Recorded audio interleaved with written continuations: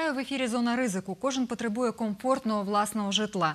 Ми звертаємося до агенції нерухомості і будівельних фірм. І часто нам пропонують вкласти гроші у втілення наших мрій. Кому сьогодні можна довіряти і що потрібно врахувати, аби не втратити усе у нашій передачі? І щоб зрозуміти, чим ми ризикуємо, давайте переглянемо сюжет. От як саме діють жителі краю і чим це закінчується. Поверхи майже Василь Верхуляк – стоматолог. У 2008 році мріяв про власний кабінет і житло у Тернополі. Був за крок до мрії. Мати Василя Петровича повернулась із заробітків.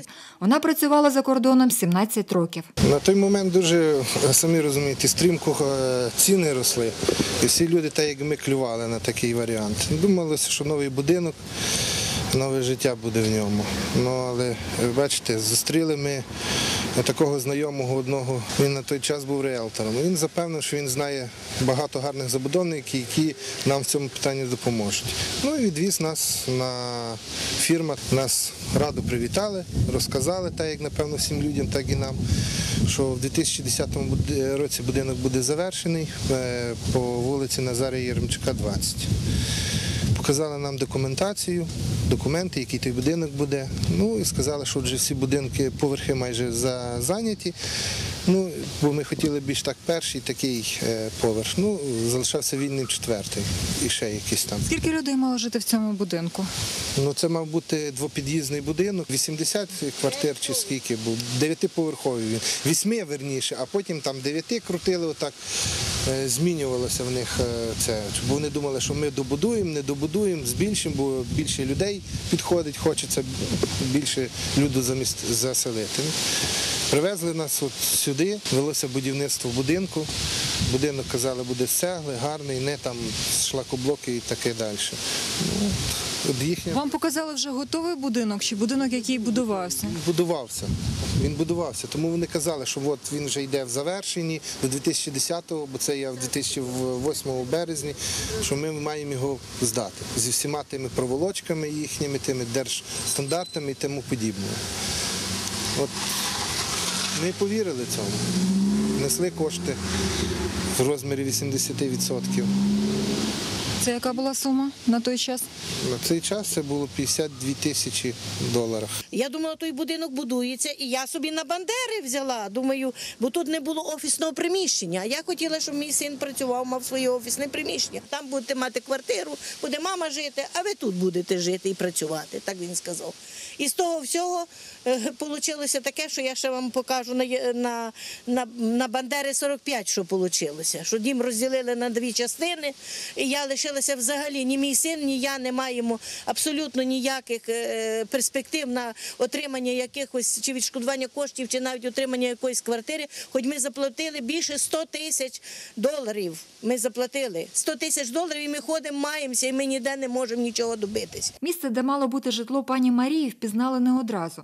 Довго блукали сусідніми вулицями. Пройшли роки. Будинок, який показували родині забудовники, давно здали в експлуатацію. За адресою, вказаною у договорі Яремчука 20, стара хата з вибитими шибками. А обіцяли простору квартиру в будинку нового планування з новими комунікаціями. Заходжу туди, зустрічаюся там з виконробом, таким повним мужчиною чорненьким, і кажу: ну кажу, хлопці, слава Богу, вже закінчуєте. А він каже: Та так, закінчую. А ви що маєте в цьому домі? Е, каже, в цьому домі маєте, каже, в квартиру? Чи, чи як, а що ви інтересуєте? Чи хочете купити? Він так мене ще питає. А я кажу: та ні, та ніби вже маємо йти до завершення. Кажуть, ми ж вже давно на Яремчука 20 заплатили.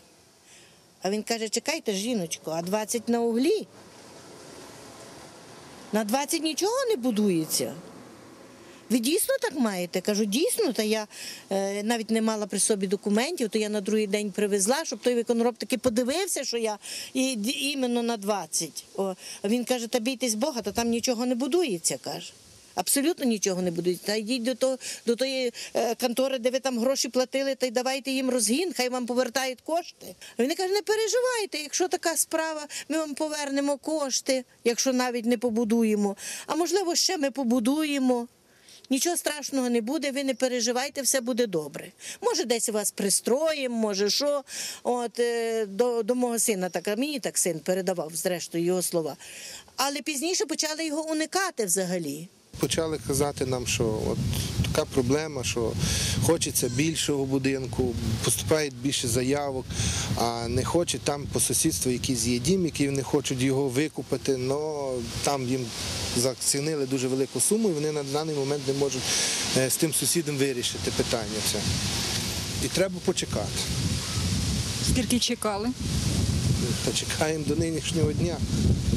Вже нема того в живих, хто з одного з тих, хто обіцяв. А всі решта повідказувалися, розбилися чистими бізнесменами, долі ніякої немає в цьому. На загиблого скинули все, кінці воду. А де ті люди? Що невже він один е, керував такими грошима? Невже він один документацію вів, підписував, знаходив місця? Ну, Це ж одна людина не спромозі робити. Він мав компаньйонів, мав людей, які на той час казали, що вони в спілці. Як намагалися повернути гроші, куди зверталися? В міліцію звернулися. Велося одна судова справа, потім друга судова справа. І нічим, що було, то і є. Я так знаю, що на сьогоднішній день це судове чинство чи право змінюється, то тепер, е, щоб звернутися десь далі, треба все через суд, вертатися до суду. І він вже призначає, знає, чи в генеральну, чи ще раз, може, якийсь наш суд вище стоящий, не обласний, а вже державного рівня. Гроші ж то є заплачені, то не то, що якась там десь переводи, ще хтось десь загубив. Гроші реальні були заплачені, ті гроші пішли в будівництво. Яке вони пішли в будівництво? Це вже повинна була міліція і органи вияснити. Дорогою на Східний заїхали на вулицю Львівську. За адресами Львівська, 22 і 24 два роки тому звели багатоквартирний будинок. Так би і було, якби забудовник дотримався обіцянки. Ви бачите будинок? Наша творча група ні.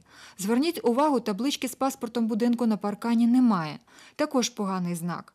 Цікаво, яким чином до будинку проводили би комунікації. Довідуємося про долю ще однієї родини Яцентих. Назару 9, його брату Богдану 6. Вони мріють про окрему дитячу кімнату і майданчик біля будинку. Наша шафа з лахами і, наша, і наші куртки, два ліжка, комп'ютер і все. Проста. І зручна, так? А зараз?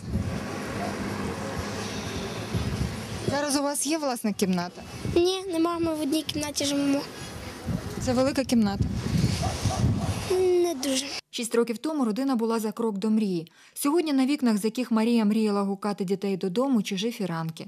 Там живуть інші люди. У 2008 році ми продали свою однокімнатну квартиру, в якій ми жили з дітьми і чоловіком.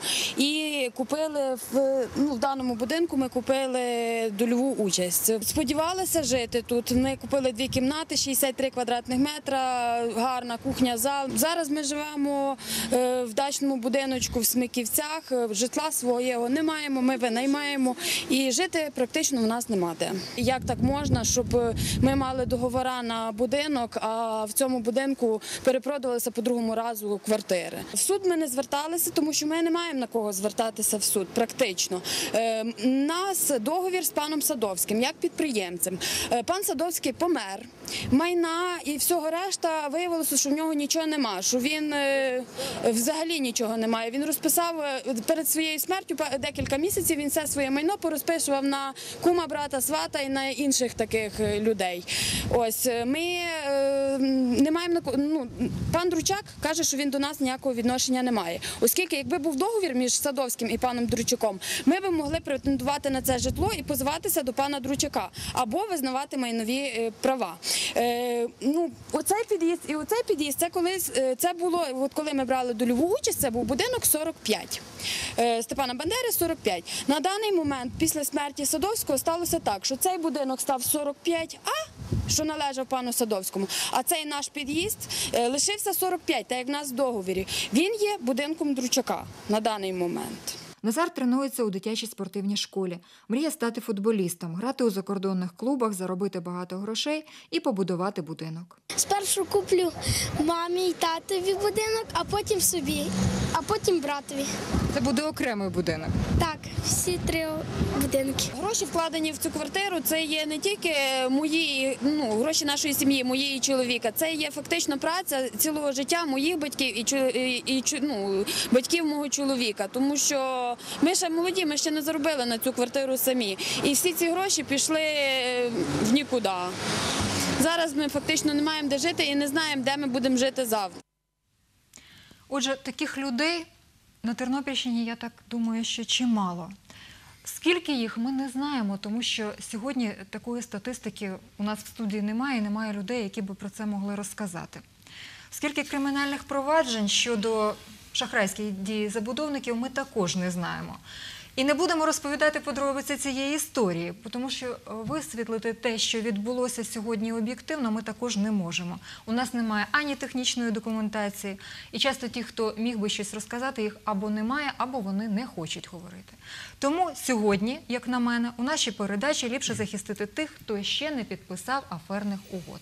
Чи погоджуєтесь ви зі мною? Так, звичайно. Звичайно, що е, якщо можна, то я розпочну. Звичайно, що найкраще це е, запобігти таким речам і перше ніж купувати квартиру, вкладати гроші, великі гроші, значить тяжко зароблені в якісь об'єкти будівництва, то найкраще звернутися до компетентних структур і з'ясувати, чи є дозвіл на будівництво, чи є земля під дане будівництво. Тобто, чи та людина, яка укладає угоди з людьми, має право хоча б до тої земельної ділянки. Бо як ми розуміємо, що будь-який об'єкт, будь-яка споруда, вона повинна бути розміщена на певній землі. Так? Ви сказали звернутися до компетентних установ, так? А що це за компетентні установи? До кого власне треба звернутися? Зокрема, можна щоб дописати до нас листа в інспекцію державного архітектурно-будівельного контролю, і ми завжди дамо відповідь, якщо це буде у формі запиту протягом п'яти робочих днів. Якщо це буде е, звичайне звернення листом, то буде протягом 15 робочих днів. Як ви зауважили в своєму попередньому сюжеті, що на кожному об'єкті, на кожному об'єкті будівництва повинен бути паспорт будови. От. І це також ця інформація, яка вже дає достовірні дані про замовника будівництва, про підря- про пі- підрядника будівництва, про те, хто здійснює технічний нагляд, авторський нагляд, чи є проєктна документація на даному об'єкті і чи є дозвільні документи. Тобто це все є в паспорті будови. Але як бачимо, люди легковажили, люди купували е, своє житло і зазвичай навіть за іншою адресою, ніж, наприклад, воно було на самому Пане ділі. Юрію, зараз ми ще поговоримо От. про ті помилки, яких припустилися ці люди, і чи можуть знову так дурити людей, як е, обдурили е, цих дольовиків чи то пайовиків. Але спочатку в мене є таке запитання. От говорили ми там по вулиці Львівській, 22-24, оцей будинок. Ми зауважили, що паспорта немає. Ви кажете, що це також важливо на це звернути увагу. А чому власне там немає паспорта? Що вам відомо про цей будинок? Я хочу вам сказати, що якщо там немає паспорта будови, то е, більш ніж е, ймовірно, що на даному об'єкті немає дозвільних документів для початку будівництва. Оскільки немає дозвільних документів, значить, можливо, немає землі в замовника, який мав намір забудовувати, можливо, немає проєктної документації. Тобто дозвіл не може бути виданий, поки немає оцих попередніх речей, про які я вже сказав. Спочатку земля, проєктна документація, вихідні дані, які замовник отримує в управлінні містобудування та архітектури. Якщо це в місті Тернополі, то в Тернопільській міській раді. Якщо це в районі, то в районних державних адміністраціях архітекторів. Отримують значить, вихідні дані, після того виготовляють проєкт і тоді отримують дозвіл в інспекції Державбудконтролю. Я хочу сказати і заспокоїти трохи наших тернополян, що на сьогоднішній день в нашому місті Тернополі, в принципі, самочинного будівництва немає, тому що відповідальність значно посилилась за правопорушення в сфері містобудування. І щоб дозволив собі хтось, наприклад, споруджувати будинок багатоквартирний там третьої категорії. То я не думаю, чи знайдуться такі сміливці, тому що штраф за це на сьогоднішній день 103 тисячі. Це В відколи, цей час відколи сміливці це від тепер не 19 знайдуться? Це від 19 січня 2012 року. Надзвичайно посилена відповідальність за правопорушення в сфері містобудування. До, в той час, коли от вчинялись такі договори, підписувались. Значить, штрафні санкції були, якщо, наприклад, там ну, не було ще будівництва і так далі, це максимально могло бути 850 гривень. Бралось 50% від вартості будівництва. Будівництва немає, жодні будівельні роботи не проведені. Максимальний штраф 850 гривень. Розумієте? І забудівники собі дозволяли зловживати. На сьогоднішній день цього немає. Є спрощення як для суб'єктів господарської діяльності, які здійснюють ту підприємницьку діяльність в сфері містобудування, але одночасно надзвичайно посилена відповідальність. І відповідальність персоніфікована. Тобто, як несе відповідальність замовник будівництва, так підрядник будівництва, проєктант, технічний нагляд, авторський нагляд і так далі. В законі чітко виписано, хто за що відповідає. На І ваш сьогоднішній погляд, день- що робити тим людям, які вже вклали гроші от в це будівництво, яке велося раніше до 19 січня 2012 року? Ну, я розумію, що це питання більше таке юридичне. Е, Що робити тим людям, які вклали гроші? Ну, е, по-перше, однозначно, е, в такому випадку треба е, просто подивитися причина, чому не ведеться будівництво. Тому що вирішення цього питання є кілька шляхів. Це можна писати заяву. Якщо ви бачите, що в цьому є е, шахрайські дії певних осіб, тому я вважаю, що необхідно писати заяву в правоохоронні органи для е, порушення кримінального провадження за цим фактом, добиватися, щоб вас визнавали потерпілими. Є інший шлях е, цивільно-правовий, тобто через е, суди загальної юрисдикції, шляхом подачі позовної заяви. Знову ж таки, про що подавати позовну заяву? Це може бути як варіант е, стягнення повернення коштів, а також може бути варіант визнання майнових прав на той чи інший об'єкт. Тобто, ну це вже в кожній конкретній справі необхідно дивитися. По-перше, причину неповернення цих коштів. По-друге, чому не ведеться будівництво, і взагалі, е, щоб е, я маю на увазі, правоохоронні органи займалися цим е, питанням. Але, пані Валентино, з вашого дозволу, я би хотів повернутися взагалі до самого початку цієї проблеми і коли починається ризик. Ризик починається тоді, коли людина укладає договір дольової участі. Е, Коротенько я зупинився якраз на цій проблемі, тому що ця проблема дуже е, велика, і е, якраз з цього починаються майбутні ризики.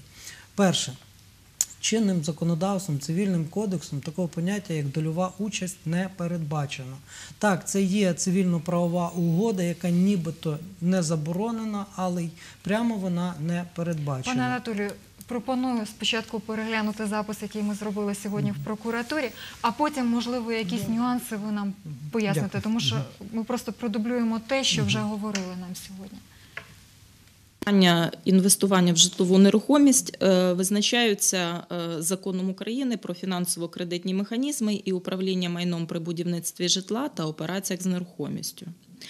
Е, Інвестування та фінансування будівництва таких об'єктів може здійснюватися виключно через фонди фінансового будівництва, фонди операцій з нерухомістю, інститути спільного інвестування, недержавні пенсійні фонди, а також через випуск безпроцентних цільових облігацій.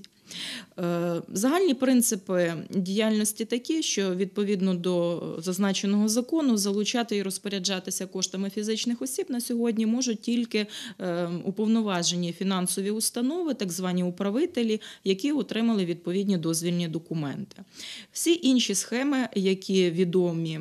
Е, До цього часу і діяли на ринку нерухомості, у тому числі е, залучення коштів у вигляді пайового внеску, на умовах так званих пайових договорів і тому подібне, є на сьогодні незаконними. І е, фактично ставлять під загрозу е, повернення громадянам вкладених ними коштів або ж виконання цих зобов'язань шляхом передачі їм готового житла.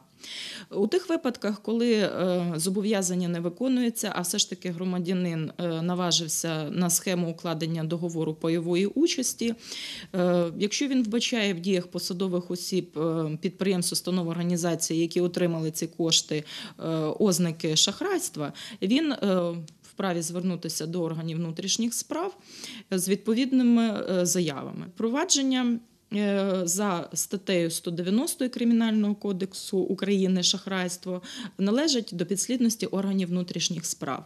Покарання е, кримінальне визначене кримінальним кодексом за шахрайські дії з огляду на вартість житла доволі суворе і за частиною 4, зокрема статті 190 Кримінального кодексу, воно встановлено на рівні від 5 до 12 років з конфіскацією майна винних осіб.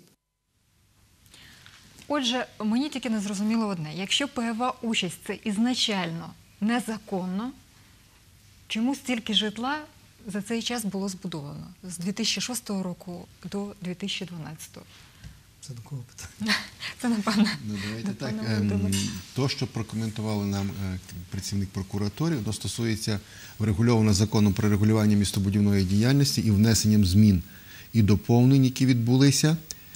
І е, очевидно, що е, дозволялося укладати такі, тобто вони не заборонені, ці договори пайової участі, і люди, в людини завжди залишається право вибору. Це право вибору, як правило, базується визначальним е, в виборі квартири, завжди, звичайно, була залишається ціна.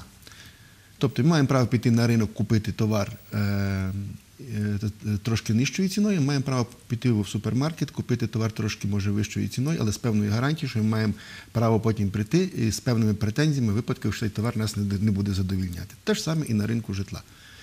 На сьогоднішній день е, переважна частина будівельних організацій працюють чітко відповідно до тих вимог, як це передбачено законом. Основні наші забудівники. В той же час значна частина в попередні роки, це ж 2006, 2007, 2008 роки, було укладено таких угод, і внаслідок недобросовісних дій забудівників не були виконані інвестиційні е, угоди, і житло не було збудовано у встановлені терміни. Е, Стикнулися ми з цією проблемою у е, 2011 році, коли до органів виконавчої влади почали масово звертатися громадяни з скаргами на те, що не виконуються угоди дольової участі в частині термінів введення житла. Е, Ви говорили про те, що скільки на сьогоднішній день є таких обманутих дольовиків, дійсно їх порахувати неможливо, Е, але очевидно, що в Тернопільській області е, ця цифра обчислюється декількома тисячами. І це не тільки одна, це декілька підприємств, ну, так і підозрювали. які не виклали своїх інвестиційних угод. Е, Ця проблема набула загальнодержавної е, такої значення, і для того, щоб посилити контроль за діяльністю забудівників, які використовують кошти громадян, були внесені відповідні зміни навіть до закону про місцеві державні адміністрації, і в липні 2007 року е, відповідним законом місцевим державним адміністраціям було введено в повноваження здійснювати е, контроль за діяльністю забудовників, пов'язаних із залученням коштів фізичних і юридичних осіб. Наголошую, липень 2012 року. Місцеві державні адміністрації також отримали повноваження у межах визначених законом е, займатися, слідкувати за е, діяльністю забудівників, що ми і здійснюємо на сьогоднішній день. Рецептів готових, як виходити з ситуації, нема. Кожен об'єкт має свою історію. Кожен об'єкт має свою специфіку, і вона залежить від того, чи на сьогоднішній день є забудівник, чи він перебуває в стадії банкрутства, чи його взагалі немає. Виходячи з цих всіх обставин, наявності документації, земельної ділянки, е, розробляється програма така свого роду, дорожна карта своє- своєрідна, за участю всіх зацікавлених е, структур. І послідовно е, кожен об'єкт намагаємося так е, допомагати людям, дольовикам виводити з того кризового стану. Основний напрямок, звичайно, це передача прав забудівників об'єднанням дольовиків, які на сьогоднішній день в основному такі напрацьована така схема, які самостійно, звичайно, закінчують будівництво. Там, де ситуація така, що забудівник не спроможний сам закінчити будівництво. І Анатолію, ми знову до вас. Кому ж все ж таки можна довіряти? Все завжди так гарно починається. Так нам багато обіцяють, і ціни дешеві. І взагалі, що треба врахувати, підписуючи угоду? І от ці слова пайовик, дольовик, от на них, напевно, в першу чергу треба звернути увагу. Е, Значить, е, ну, в першу чергу, е, що б я радив, коли ви збираєтеся вкладати якусь цивільну правову угоду, ну будемо конкретно казати, чи вона буде називатися дольова чи пайова участь. Ну, в принципі, різниці тут немає.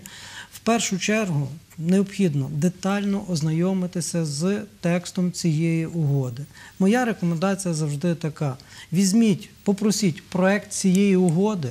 Хочете, можете можете звернутися до юриста. Не хочете, можете самі прочитати. В нас, в принципі, основна маса людей грамотна і коли буде читати, навіть Я сядьте, думаю, що є певні нюанси. сядьте з сім'єю. е, Я в, в подальшому зупинюся на моментах, на які слід звернути увагу. Тобто я не закликаю огульно зразу бігти всім до юристів.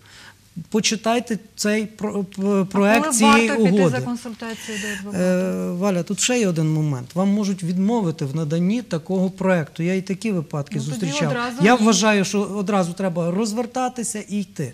І знову ж таки, от що е, казав е, Юрій Володимирович, я би радив, щоб вам крім того, дали копії документів, які свідчать про право цього е, забудівника на земельну ділянку. Знову ж таки, чинним земельним кодексом на даний момент передбачено всього два. Таких документи це або акт, е, державний акт е, на право власності, або договір оренди. Все інших Договір суперфіції. ще. ну суперфіцію так Який це, документ засвідчує право на оренду землі? е, це договір оренди з власником земельної ділянки.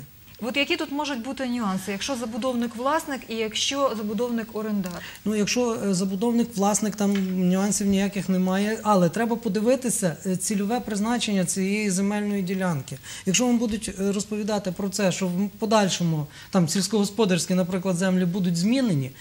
Я вважаю, цьому вірити не можна, тому що на даний момент механізму переводу земель сільськогосподарського призначення е, в землі для е, забудови, ну його немає, він заборонений фактично. Це перше. Е, Тобто я вважаю, що е, е, які я б радив ще взяти документи. Необхідно взяти знову ж таки проект цього будинку, який буде будуватися, дозвола. Ну можливо, хтось з наших співрозмовників скаже, які на момент початку будівництва мають бути дозвола. Ці дозвола. І тепер, що стосується самого договору цієї дольової участі, будемо починати з того, хто його заключає. Я також бачив дуже багато цих договорів. Тобто забудівник ніби один, укладає договір чомусь інша особа, навіть якщо там написано директор такий-то, який діє на підставі статуту.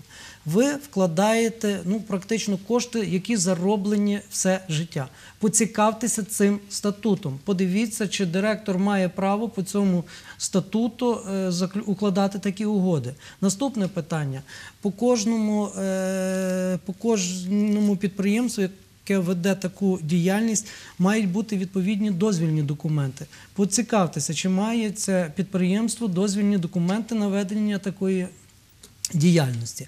Наступне питання дуже цікаве, що стосується це срок виконання договору.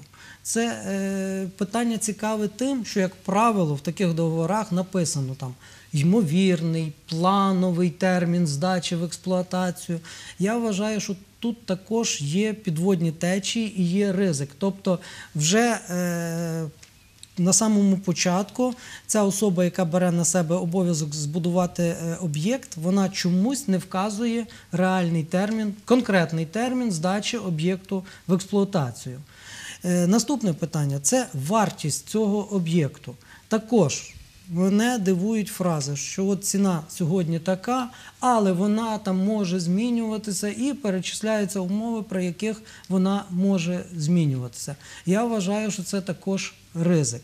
Наступний е, такий ризик, який також має місце, це е, площа е, житла. Зараз ми говоримо про площу, тому площа житла. Я зустрічав випадки, коли площа житла як могла і збільшуватися, але в більшості випадків вона зменшувалася. При цьому договором не було передбачено повернення коштів, які все-таки в договорі передбачена ціна за квадратний метр. Потім на кілька квадратних метрів це е, розмір цієї е, квартири зменшувався, однак договором не передбачено було повернення цих коштів. Хоча це також немалі кошти. Якщо взяти 4-5 е, квадратних метрів, ціни ми зараз не будемо. давайте, Так. можливо, ми зараз перервемося і от про, про дозвола, про вартість, про терміни і про площу розкажуть люди, які про це можуть розказати докладніше. Ну, Отже, що пане стосується Юрію. дозвільних документів, то я хочу вам сказати, що на сьогоднішній день дозвільними документами являються в будівництві як повідомлення про початок виконання будівельних робіт, так і декларація про початок виконання будівельних робіт і сам дозвіл на виконання будівельних робіт. Тобто це залежності від категорії складності будівництва, від категорії складності об'єкту. І пане Юрію, я думаю, що вже незаконно захоплювати землю після 12 19 січня 2012 року не захочуть, але все ж таки, якщо починається десь незаконне будівництво, от як на це мали би реагувати? Хто мав би це відстежувати? Можливо, навіть сусіди, куди вони мали би звернутися, якщо вони бачать, що будують Якщо є, незаконно? такі, якщо є такі випадки, коли люди розпочинають будівництво, і я вам скажу на сьогоднішній день дуже багато людей звертаються в інспекцію Держбудконтролю, яку я очолюю в Тернопільській області, і ми негайно реагуємо. Ми проводимо позапланову перевірку і встановлюємо, є в людини земля, є проєкт, є відповідні вихідні дані і так далі. І так далі. Все те, що повинно бути. А за і ми кордоном, от як реагують на те, що десь незаконно виріс будинок? Я вам скажу, по-перше, розумієте, за кордоном інший менталітет. Там вже є сталі демократії, де значить, люди не дозволяють собі маніпулювати законодавством. В основному є відповідальність, значить, як в тих же комерсантів, так будемо казати, так коротко одним словом, так же і в самих покупців. Тобто люди поважають закон, поважають власність. Є повага. Одного до другого. А у нас, на цього- сьогоднішній день нас що цього- роблять з будинком незаконно збудованим? Його зносять чи все ж таки ще узаконюють? Ну, я вам скажу так: інспекція Держбудконтролю, коли проводить перевірку і встановлює факти правопорушення в сфері містобудування, дає штраф і, окрім цього, дає припис. Припис про усунення тих чи інших порушень. Якщо, наприклад, є можливість узаконити цю будівлю, так? тобто доробити, наприклад, документи там, на землю, припустимо, чи внести зміни якусь проєктну документацію і так далі. Ми це виписуємо в приписі згідно нормативних документів і вручаємо, даємо конкретний термін. В цей термін забудівник усуває ці правопорушення, інформує Держбудінспекцію і тоді далі продовжує роботи, якщо роботи зупинялись. Є правопорушення, при яких не обов'язково зупиняти будівництво, тобто людина може усунути і, значить, е, в принципі, продовжувати ті роботи. Коли ми проводимо перевірку знову ж таки виконання вимог приписів, знову штрафні санкції є дуже великими. Для фізичних осіб, наприклад, для прикладу, це є 5100 мінімальний штраф.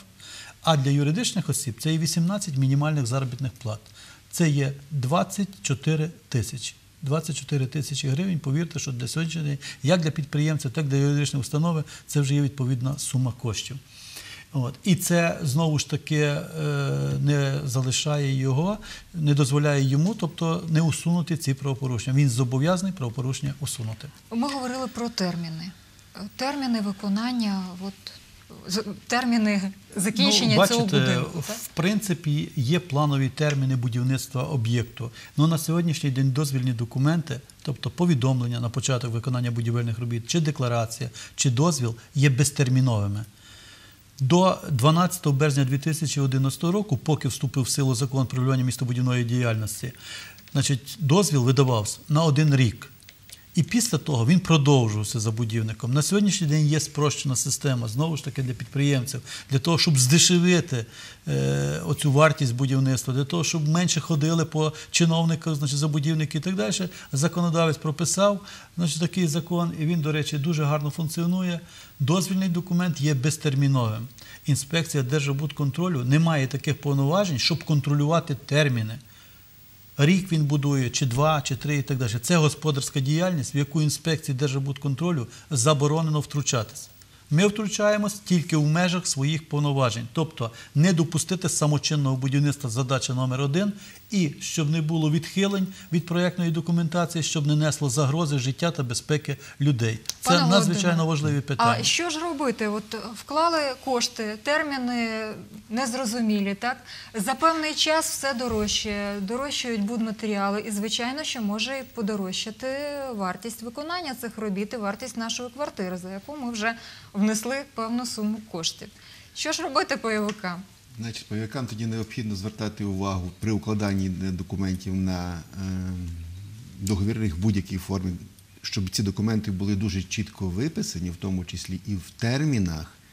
І це все питання більш кажуть, юридичного е, такого аспекту для того, щоб дольовик був максимально гарантований. Тобто на ті документи, які потрапляли нам на очі щодо обманутих дольовиків, це е, договори, які займають по тексту одну сторінку друкованого тексту. Це е, навіть складно назвати договором. Практично, якщо брати його аналізувати, то там нічого не прописано, будемо так казати. І брати його за основу і оскаржувати дії забудовників на підставі такого договору досить складно. Значить, відповідно, необхідно, е, щоб ці документи були вдосконалені і були відпрацьовані, і ці всі моменти мали бути оговорені при укладанні таких Є відповідна постанова, де затверджена типова Типовий форма угоди. угоди, так. Але люди про це не знають. Найкращий е, шлях, я думаю, це людині звертатися таки до фахівців. Ви знаєте, от ви задавали як за кордоном. То я вам хочу сказати, там не тільки сама відповідальність людей, а окрім цього, розумієте, люди звертаються в основному до адвокатів з будь-яких питань. Він знає, що якщо він знайшов 50 тисяч, наприклад, на квартиру доларів, то він ще знайде 500 доларів для того, щоб правильно оформити документи. І тоді він захищений юридично. Тобто він може звернутися з позовом до суду і відстояти свої права. Зараз Якщо ми ще до Анатолія звернемось, але в нас залишилося ще одне питання щодо площі. Як площа може змінюватися, якщо затверджений є проект? І в проєкті вказана площа цієї нашої квартири. Як вона може збільшуватись, зменшуватись? Оце мені також не зрозуміло. Будівництво це точно наука? Чи не зовсім? Чи можна може бути два на два це стільки, скільки нам треба? Якщо можна, я прокоментую. Чи- Значить, на сьогоднішній день забудівнику дозволено законом про регулювання містобудівної діяльності дозволено вносити зміни в проєктну документацію в процесі будівництва. Тобто уклали з дольовиком участь, наприклад, там, чи з забудівником в термін півроку тому, а сьогодні от вирішив замовник будівництва, що він хоче ці квартири там трошки перепланувати, змінити. І він має на це право, до речі. Якщо це є в межах вихідних даних, в межах містобудівних умов та обмежень, якщо не збільшується там висота, ширина будівлі, не, е, там, значить, не зменшуються пожежні розриви і так далі, замовник має право вносити такі зміни. Але якщо добропорядний замовник, і якщо укладені правильні угоди, то завжди буде за це відповідальність. Знову ж таки, я кажу, це наша така, знаєте, довірливість, що все добре. Але треба звертатись до фахівців і треба компетентно укладати юридичні документи. І тоді буде все у нас добре. А відповідальність кого буде, якщо замовник захотів щось змінити от всередині, перепланувати, наприклад? Так, ну замовник взяв в когось кошти, так отримав. Він би повинен з ним також погодити, тому що це вже є інвестор будівництва. Безумовно. Правильно? Він би повинен з ним погодити, тому що це вже в принципі якесь певне його майно, якщо угода правильно укладена. Я правильно кажу? Я чи би хотів так е, подякувати Юрію Володимировичу от за е, це питання. Чому? Тому що я вважаю, що до кожної такої угоди, як додаток, повинна піти план чи схема. Викопіровка. Викопіровка поверху, так, його по, по вашому Зовсім викопіровка. Так. План цієї квартири. І обов'язково угодою мало би бути передбачено, що всі зміни можуть бути внесені тільки за взаємною згодою двох сторін. Безумовно. Чому? Тому що вони несуть е, зміну є поняття суттєвих умов угоди. Це ціна, там терміни і так далі. Якщо воно несе, значить навіть е, цивільний кодекс передбачає зміна істотних умов має бути обов'язково погоджена в тій самій формі, в якій укладений е, першочерговий договір. Тобто, якщо він укладений в письмовій формі, значить, і тому я рекомендую брати коп... е, ну, е, значить, план цієї квартири чи план поверху, і тоді людина, по-перше, вона бачить, що повинно бути. Якщо виникне необхідність змінити, значить, будь ласка, нехай забудівник це е, погодить. Погодить. Звичайно. Анатолій, хочу повернутися до нашого сюжету. Пам'ятаєте, там люди розповідали, що їм обіцяли, що буде така кількість поверхів, потім кількість поверхів змінилася. Здається, сім було поверхів, потім вже дев'ять. От чи може замовник розірвати договір, якщо йому пропонували квартиру на третьому поверсі п'ятиповерхового, наприклад, будинку, а потім виявилося, що це будинок дев'ятиповерховий в процесі. Взагалі, чи таке можливо зараз? Або, наприклад, пропонували з квартирою все гаразд, все так і залишилося, але поверх е, вже не той, так і е, дитячий майданчик е, пропонували, а потім залишився тільки невеличкий під'їзд до будинку. Це От є, як тоді? це є, в принципі, цивільно-правові відносини, і все це повинно бути виписано в угодах. Якщо це в угоді виписано, значить людина завжди себе захистить. Якщо не виписано, вибачте. Юрій Володимирович, з вашого, з вашого дозволу, стаття 651 Цивільного кодексу України. Цивільного. Чітко передбачено підстави розірвання договору. Якщо на момент укладення договору ну, людина, будемо так образно казати, сподівалася на одне, а в кінці. Получається інше, вона має право звернутися ну, спочатку до е, іншої сторони, в добровільному порядку розірвати цей договір. Ну, якщо відмовлять їй, вона має право звернутися до суду про розірвання такого договору. Звичайно, е, наслідком цього буде повернення коштів, можливо, От повернення коштів. А кошти повернуть в повному обсязі. Бо в 2005 році це були одні кошти, а в 2013 це вже інші кошти. Так Залежить знову ж таки, як Е, угода з- ну, прописана. е, Цивільним кодексом та є там знову ж таки передбачено повернення е, з врахуванням індексу інфляції, 3%, і власне, коли їх мають повернути? 3% річних за користування чужими коштами і коли їх повернуть. Ви знаєте, я зустрічав дуже часто в таких договорах, що так, може бути договір дольової участі розірваний. Питань немає за згодою сторін, але кошти повернуться в тому випадку, коли буде знайдений ну, наступний покупець, скажімо, на те житло. свідомо, звичайно, може е, цей забудівник і не шукати цього наступного покупця, а користуватися коштами тієї людини. Знову ж таки, це ризик. І чула таке, що спрощено процедуру введення будинку в експлуатації. Е, В особи, яка укладає договір з юридичної точки зору, які документи мають бути? Я би хотів ще прокоментувати також, бо ви задавали таке питання, і, до речі, воно було в сюжеті про це, чи може забудівник збільшувати поверховість. Є вихідні дані, містобудівні умови і обмеження, які встановлюють граничну висоту будівлі. Умовно беремо 37 метрів. Він запроєктував об'єкт п'ятиповерховий, там, припустимо, е, ну, 15 метрів. Так? Але от в процесі будівництва в нього нормально пішли справи, він має висоту 37, і він до 37 метрів може додати цю поверховість, може змінити проєкт цього будівництва і продовжити це будівництво власне, до 9 поверхів чи до 10. То його право, знову ж таки, замовника. Воно на ніщо не впливає, воно Але не ж ми перешкоджає. про воно не перешкоджає зовсім людині користуватись. Ну, знову ж таки, людина має е, право значить, розірвати угоду, забрати свої кошти, і це все повинно бути чітко виписано в угоді. От. Що стосується введення в експлуатацію спрощеної процедури, це дійсно так. На сьогоднішній день діє декларативний е, метод, тобто людина може подати декларацію про готовність об'єкта до експлуатації і увести цей об'єкт в експлуатацію. Це перша, друга, третя категорія будівель. В основному житлові будинки в нас є це третя категорія. От. До третьої категорії це спрощена процедура. Людина просто подає декларацію. До речі, будинок може бути навіть недобудований в таких випадках. От є недобросовісні, непорядні забудівники. Вони збудували будинок, він ще без вікон, без дверей, а вони дають декларацію про це, що об'єкт готовий до експлуатації. Ми перевіряємо повноту даних, вносимо в єдиний державний реєстр, отримуємо номер з єдиного державного реєстра, затверджуємо цей документ і вважається, що цей об'єкт прийнятий в експлуатацію. До речі, ні один німець. Бо законодавство, це в принципі закон про містобудівної діяльності, дуже подібний до законодавства, яке діє багато років вже в Німеччині. Але ні один німець собі би не дозволив подати декларацію про готовність до експлуатації, якщо би там була тільки коробка, а не повністю збудовані чи проведені весь комплекс будівельних робіт. А в нас такі випадки бувають. От можете задати питання: а чому бувають? Для чого це людині? Для чого Власне, це я і хотіла запитати. Так я вам скажу. От він, наприклад, приймає там наполовину збудований об'єкт в експлуатацію, потім йде в банк, закладає його як готовий, бо він реєструє право власності в реєстратора. Знову ж таки, ніхто не знає, що там є, так? І йде в банк, отримує кредит, наприклад, 3-4 мільйони, і оперує тими коштами. Розумієте? Є різні схеми. Тобто люди наші ще не привикли до цього. Якби в нас ще завести німців, у нас би прекрасно цей закон працював.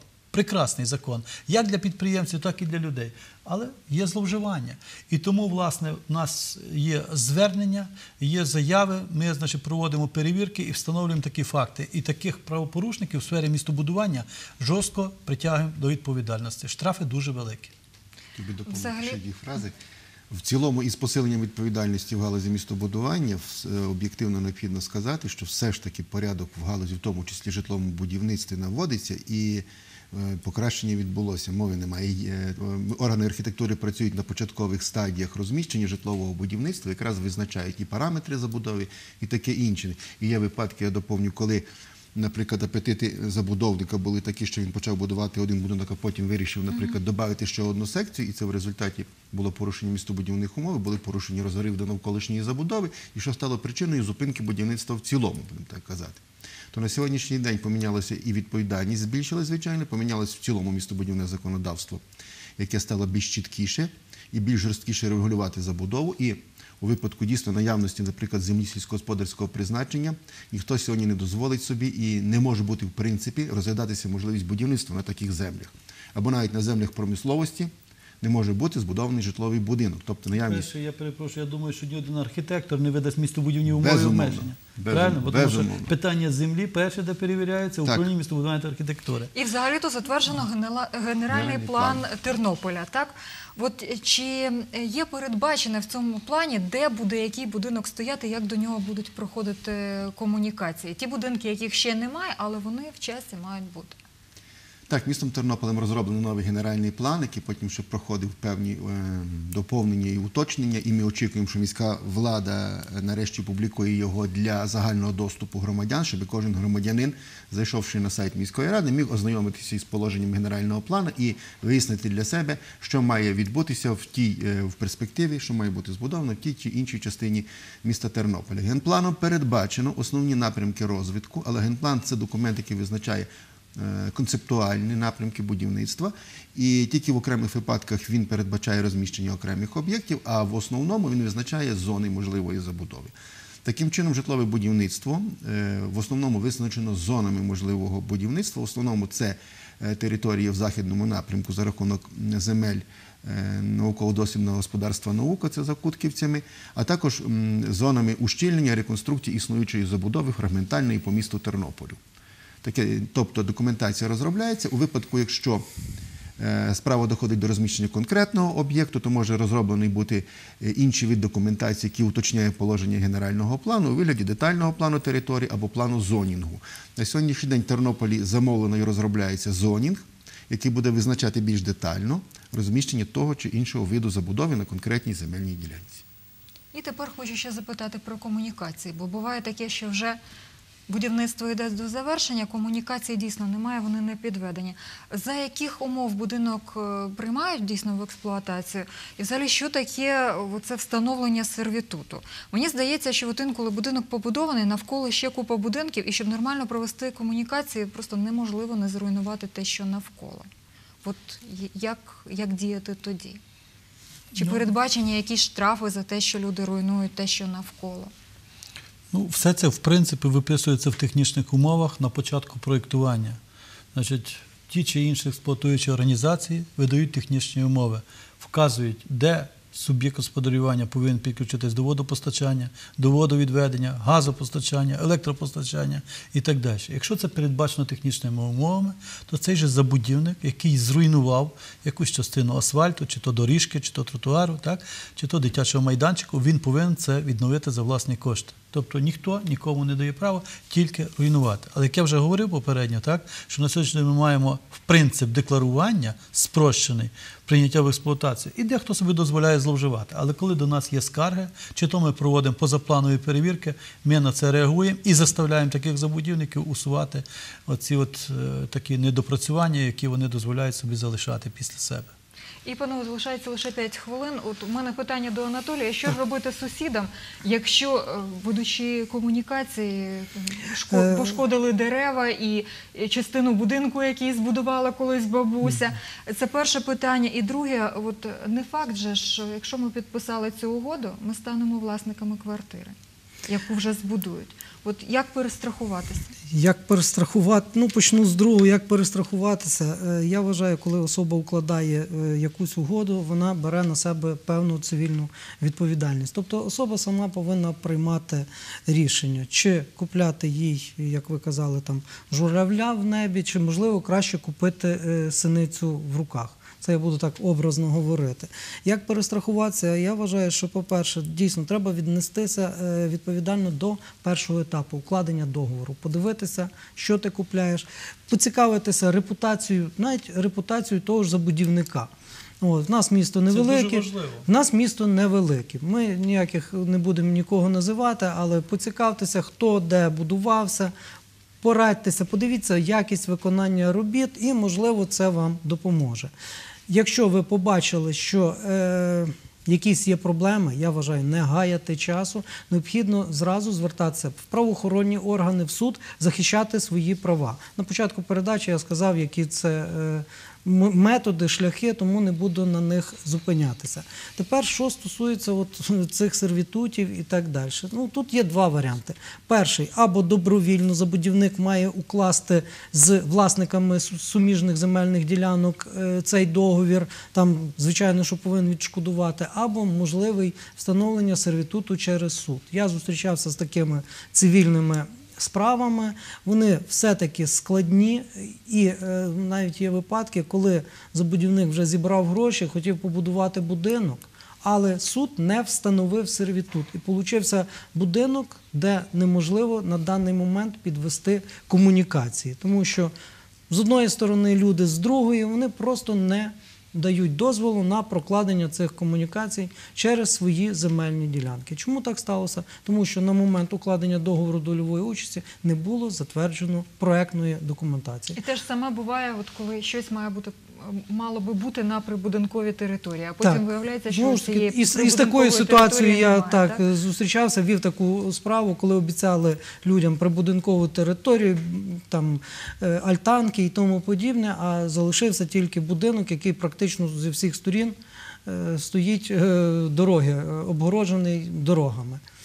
І, Знов- власне, що є власністю мешканців будинку, що є власністю забудовника, що є спільною власністю. От також тут є дуже багато Тут дуже багато юридичних. Ми зараз Я на них думаю, не ми це сьогодні навіть не встигнемо. воно все повинно бути. Дуже чітко передбачено договором. В договорі не повинно бути вказано, що ви купляєте там квартиру на другому поверсі, так, така то е, площа. Повинно бути вказано, що це за будинок, скільки він має поверхів, яка земельна ділянка, Номер е, квартири. номер квартири, плюс яка земельна ділянка має бути для обслуговування цього будинку, що також важливо. І куди звертатися тим людям, у яких є рішення суду, забудовник мав би відшкодувати збитки, але стягнути кошти не можуть. Він банкрут.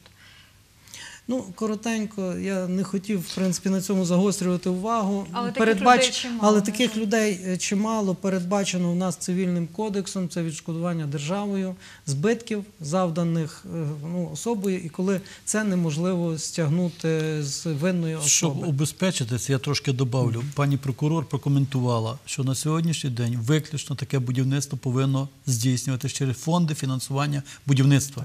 Це є фонди, є відповідний закон, є постанова Кабінету міністрів про це. об'єкту. І вони страхують ці об'єкти, і тоді людям повертають, якщо вони, наприклад, там втрачають. Ну, але вже є ряд Можливо. людей, які Ну, вже є то, що є. гроші. Так. І зараз нам треба, і до речі, я от що хотів сказати, подякувати от тим людям, які борються за свої права. Бо дуже багато людей просто опустили руки. От я вважаю, якщо не опускати руки, то чогось можна добитися. Хто стукає, тому Пане відкриває. Володимиру, Я вважаю, що не тільки в Україні, а в будь-якій країні світу укладання угоди на будівництво квартир несе певні ризики. І на 100%, на 100% ніхто не може вам прогарантувати, е, що все буде добре до завершення будівництва. Тому є таке поняття інвестиційний ризик. Завдання забудовника, котрий хоче профінансувати будівництво квартири, зменшити до мінімуму цей ризик і найбільше себе убезпечити. Це можна зробити шляхом максимальної перевірки усіх умов будівництва і найбільш детально вкладання договору і обумовити усі можливі наслідки такого договору. І бути здоровим, мати здорову підозру, грубо кажучи. Мати нормальну здорову підозру. Отже, аби потім не ризикувати грошима, здоров'ям, часом власним, перш ніж підписати будь-яку угоду, перевірте усе, про що ми сьогодні говорили. І хай ризику у вашому житті буде якнайменше. До зустрічі.